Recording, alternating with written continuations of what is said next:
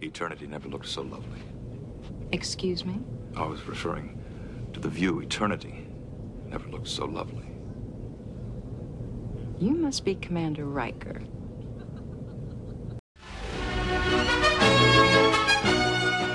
Don't fret, Riker. My good fortune is your good fortune.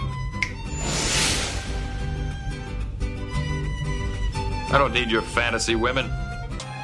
Will I ever see you again? I'll call you the next time I pass through your star system.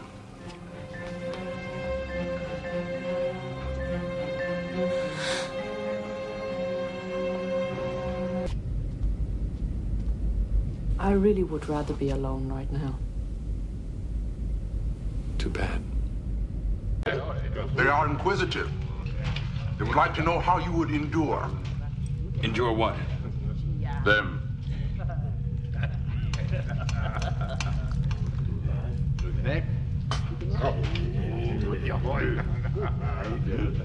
One or both? Captain, perhaps it would be best if we discuss this. Shut up! Beg your pardon. I said shut up! As in close your mouth and stop talking.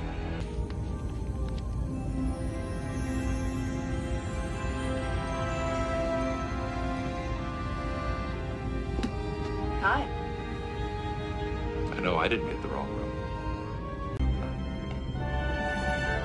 Why do you sound so surprised, Mr. O'Brien?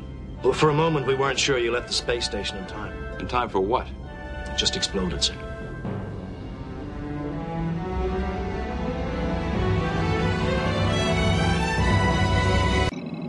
Commander, tell me about your sexual organs. I don't mean to sound insulting, but on my planet, we have been taught that gender is primitive, Primitive? less evolved. Maybe so. But sometimes there's a lot to be said for an experience that's primitive. Well. We were supposed to finish the crew evaluation reports. of course, come in.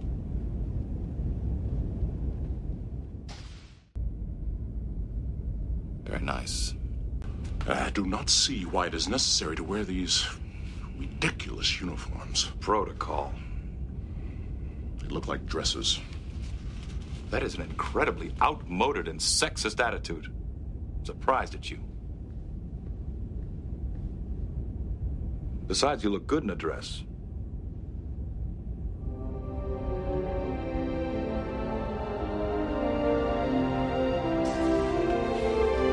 First words out of your mouth are the most important. You may want to start with something like this here.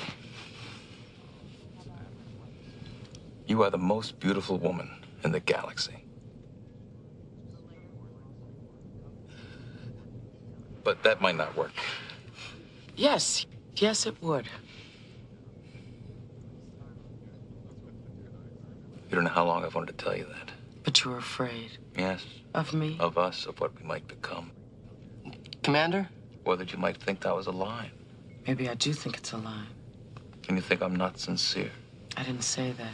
There's nothing wrong with the line. It's like a knock at the door. Then you're inviting me in. I'm not sending you away. That's more than I expected. Is it as much as you hoped? To hope is to recognize the possibility. I had only dreams, Dreams can be dangerous. not these dreams. I dream of a galaxy where your eyes are the stars and the universe worships the night. Careful. Putting me on a pedestal so high you may not be able to reach me. Then I'll learn how to fly. You are the heart in my day and the soul in my night. I don't think this is my style. Shut up, kid.